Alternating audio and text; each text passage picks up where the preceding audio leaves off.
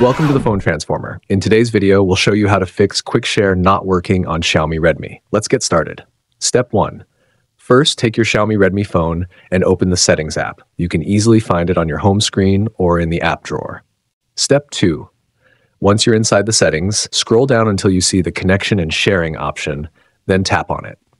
Step 3. Now from the menu, scroll down and find Reset Wi-Fi, Mobile Networks, and Bluetooth. Once you find it, tap on it. Step 4. In this menu, you'll see the Reset Settings option. Tap on it, enter your device password if asked, and then tap on the OK button.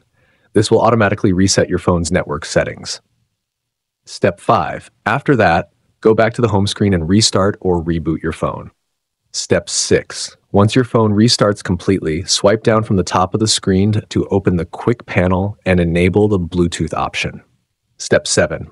Now scroll through the menu and find the quick share option. Tap on it and select the turn on button. Step 8. Finally, choose the everyone option and tap on the done button. That's it. You've successfully fixed quick share on your Xiaomi Redmi phone. To check if it's working, swipe down from the top of the screen and see the result. Thanks for watching and please subscribe to the channel.